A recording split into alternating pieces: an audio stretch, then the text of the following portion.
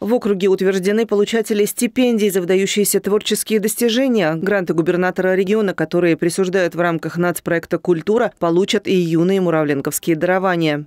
Вот оно оживет где-нибудь вот здесь, на вот этих завитушках нам надо.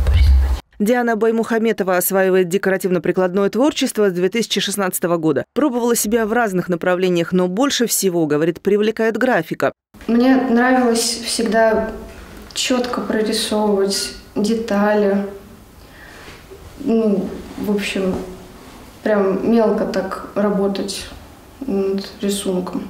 Творчество для художника – это возможность выразить себя, говорит юная художница. Развивать потенциал помогает участие в конкурсах. На ее счету уже есть городские, всероссийские и даже международные творческие состязания.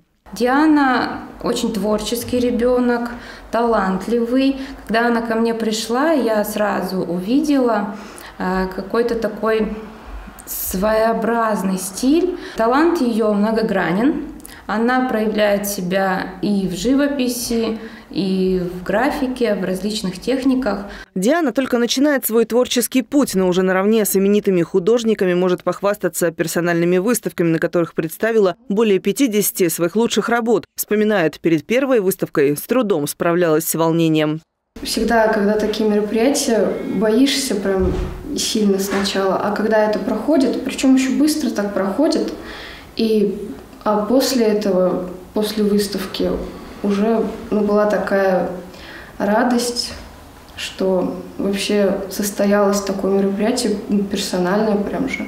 Она уже задумывается о будущем, планирует обучение в колледже искусств, а стипендия губернатора станет неплохим подспорьем для реализации творческих планов. Ну, это такая достаточно серьезная награда, и она говорит о том, что все годы обучения прошли не зря, Связать свою жизнь с искусством планируют и воспитанница отделения живописи Алина Смирнова и Анастасия Мартынова. Их также объединяет участие в конкурсной деятельности. За 2020 э, и 2021 год они поучаствовали более чем в 15 мероприятиях э, выставочного и конкурсного характера. Например, э, Мартынова Анастасия заняла в шести международных конкурсах призовые места. Смирнова Алина также отмечена благодарственными письмами учредителей выставок и участвовала тоже в международных конкурсах с победой победами. Я начала рисовать буквально с пеленок, шутит Анастасия. В детском саду и школе рисовала мультипликационных персонажей. Чуть позже начала набрасывать портреты, пейзажи. А когда начала обучение в детской художественной школе, выбрала единственное любимое направление – живопись. Я очень люблю цвет. Я считаю, что цветом можно передать настроение, характер рисунка. Вот. И я думаю, что живопись, оно как-то более уже сам за себя название говорит. Вдохновить художника может любая мелочь. Чашка кофе на столе, луч солнца за окном, кошка, свернувшаяся клубком на коленях. Или, допустим, хорошие воспоминания о чем-то, сразу появляется настроение на создавать что-то новое.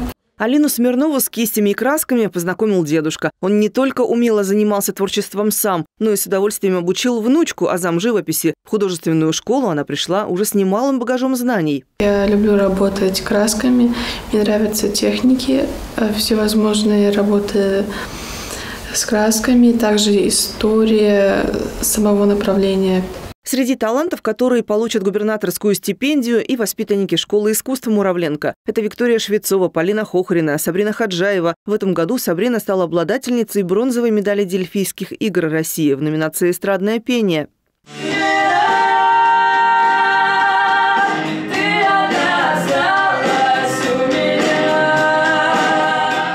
Ее необыкновенный, выразительный, альтовый голос звучит на многих городских концертах и уже не раз покорял вершины вокального мастерства в регионе и в стране. Она обладатель гран-при международного конкурса «Вершина творчества», дважды бронзовый призер молодежных дельфийских игр России. Для Сабрины премия за высокие достижения – это серьезный подарок за старание и труд. Воспитанница школы искусств уже 9 лет изучает музыку и как истинный артист отдается ей сполна. Я очень обрадовалась, когда узнала, что получила грант от губернатора и благодарна, что он заботится о талантливых детях. Конечно, каждый конкурс дается по-разному. Какой-то сложный, какой-то нет, и для каждого нужны разные усилия, но чаще всего, что трудные. Сабрина окончила ДШИ по классу эстрадно-джазового вокала, а сейчас пополняет багаж знаний в классе профориентации по программе созвучия. Так же, как и 9 лет назад у своего бессменного педагога Галины Иваненко. Просто поменяли местами, и мы теперь э, уже не учитель, ученик, я считаю, что мы уже больше коллеги. Меня греет душу то, что ребенок смог реализоваться. Это же очень важно, да, э, в том виде творчества, в котором я с ней, которое я ей, ей ну, привила, которое я в нее влюбилась, э, заставила влюбиться в этот вид творчества. Вот. И когда счастливы дети, естественно, преподаватель тоже счастлив.